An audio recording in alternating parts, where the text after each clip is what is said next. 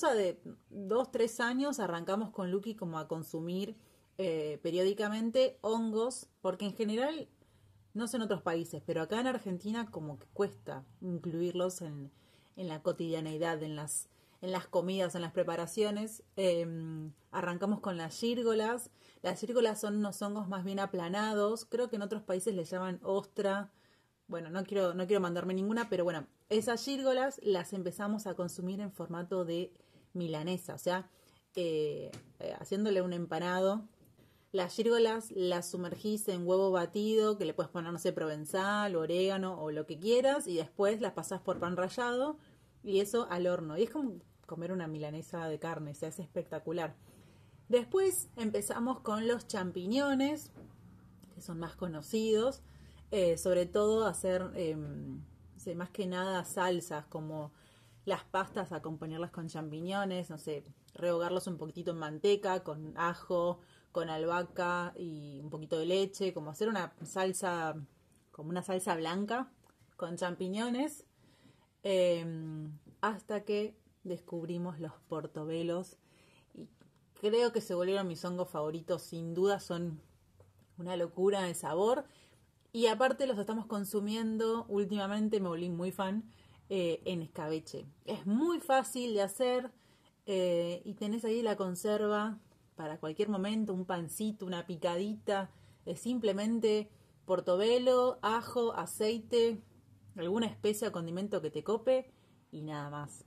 Em, así que nada, obviamente hay miles de recetas con hongos.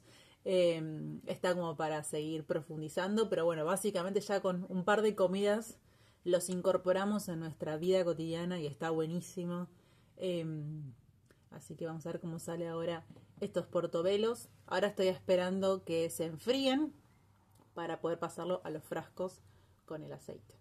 También aproveché la mañana para hacer algunos garbanzos que dejé anoche en remojo y los empecé a cocinar con hojitas de laurel Em, para mejorar la digestión, para que no inflamen.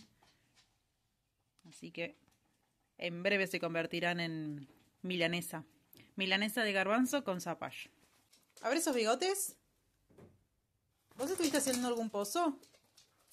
Vení acá. Quiero ver esos bigotes. A ver. Mm, vos no, vos tenés los bigotes limpios.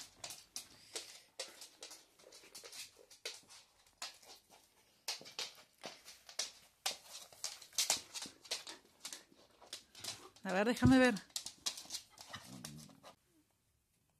No, mira esos bigotes.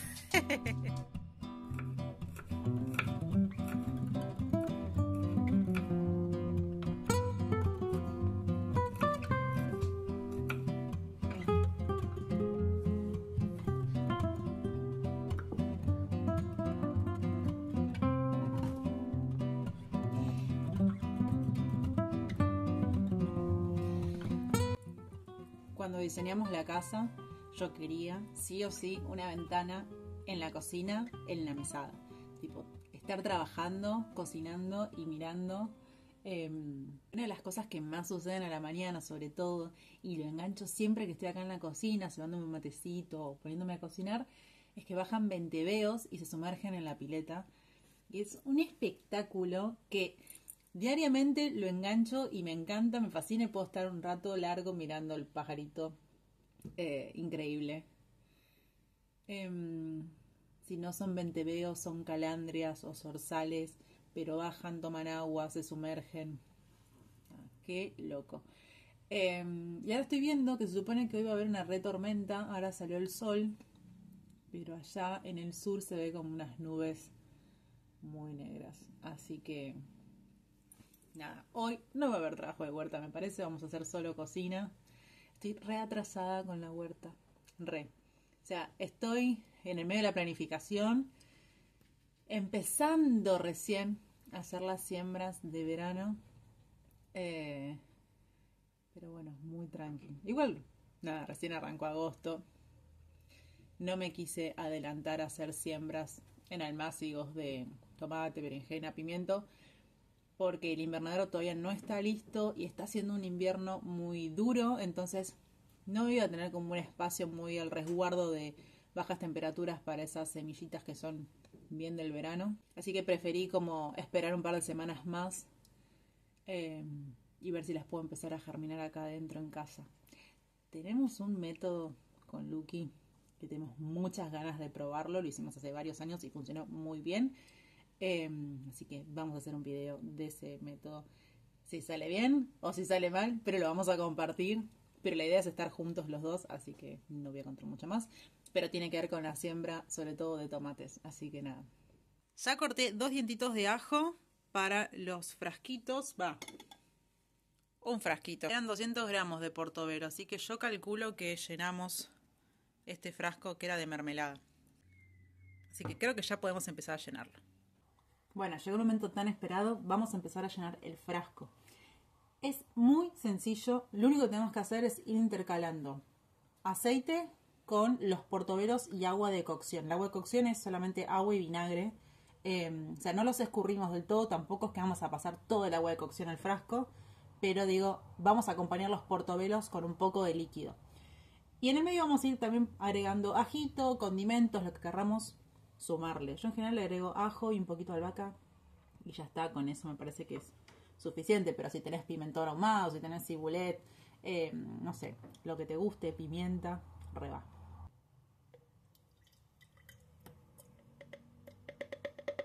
Y porque nunca es suficiente ni vinagre ni aceite, desde hace un tiempo empezamos a comprar bidón es la gloria, no te quedas nunca sin aceite, sin vinagre. De hecho, el vinagre lo usamos para limpiar el baño, la cocina, la ropa como suavizante. El tema es que no es tan fácil maniobrar un bidón. Debería empezar a pensar en pasarlo a alguna botella, alguna aceitera, no sé. En fin, esto recién está comenzando, esta vida con bidón. Pero para llenar un frasco viene como piña. Y mientras aprovecho para contarles que se viene una nueva edición del curso online de huerta agroecológica desde cero de una casa huerta. Estoy muy agradecida, muy contenta. La primera edición fue hermosísima, así que tenía muchas ganas de lanzar una siguiente edición. Sé que mucha gente se quedó afuera, se quedó con ganas. Así que aprovechen, les dejo abajo en la descripción del video toda la info y el link para que puedan inscribirse. Son cuatro encuentros en vivo, arrancamos el próximo jueves 15 de agosto. Son cuatro semanas en total con clases grabadas, con material de consulta. Cualquier duda me lo dejan en los comentarios.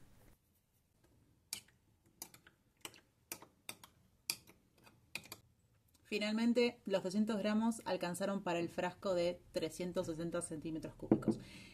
El toque final es agregarle una capita de aceite y listo, ya se puede guardar en la heladera.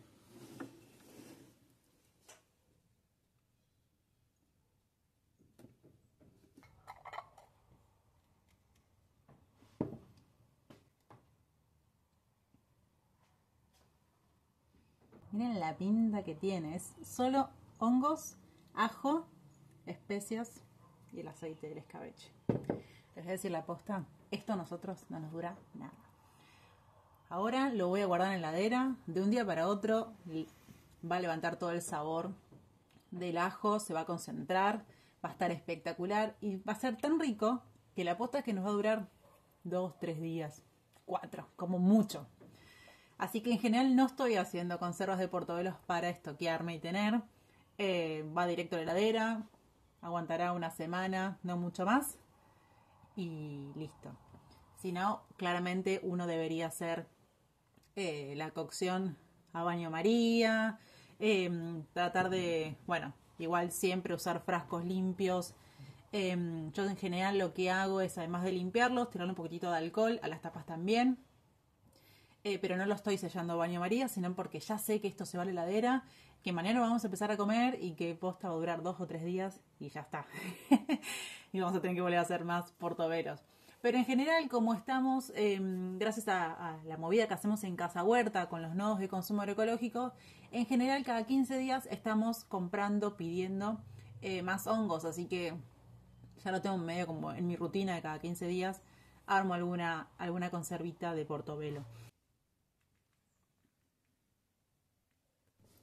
Bueno, Lista la conserva de portobelos. Espero que les haya gustado esta receta distinta de una casa huerta. No todo es huerta, no todo es verduras. Está bueno diversificar, así como yo rompo mucho con diversificar la huerta, también diversificar nuestra alimentación, nuestras comidas, nuestra cocina, animarse a hacer nuevas recetas, animarse a probar nuevos sabores, eh, no quedarnos siempre con, lo poquito que ya conocemos o que lo tenemos como reautomatizado y salen esas recetas, comidas que te, te solucionan.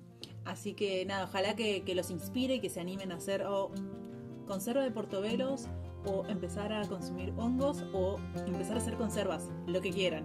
Les mando un abrazo enorme y nos vemos en un próximo video. Chau, chau.